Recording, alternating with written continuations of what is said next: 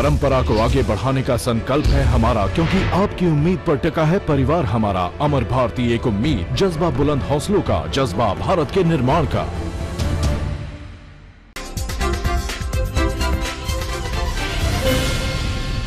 उत्तर प्रदेश की रायबरेली जेल में कैदियों की मौत का सिलसिला थमने का नाम नहीं ले रहा।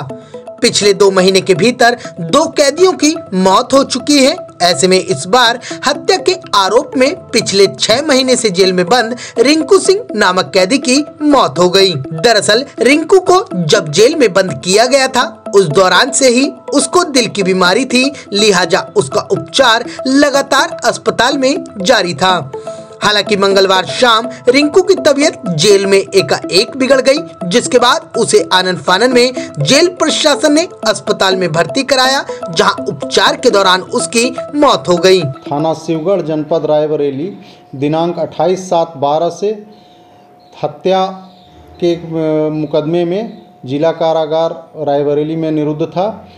निरुद्धि से पूर्व से ही वो दिल की बीमारी से पीड़ित था।